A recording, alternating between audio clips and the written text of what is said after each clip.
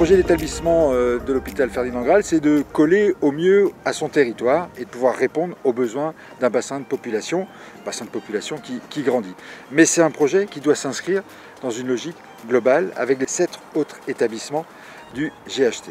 Aussi, à Landerneau, on a pu, en travaillant euh, euh, collégialement depuis quelques temps, obtenir un centre IRM permettant à la population de pouvoir bénéficier de ce service. Vous voyez, ça peut être très concret un projet des établissements. Aussi, je vous incite à vraiment y participer et faire en sorte que vos avis puissent agrémenter ce projet des établissements.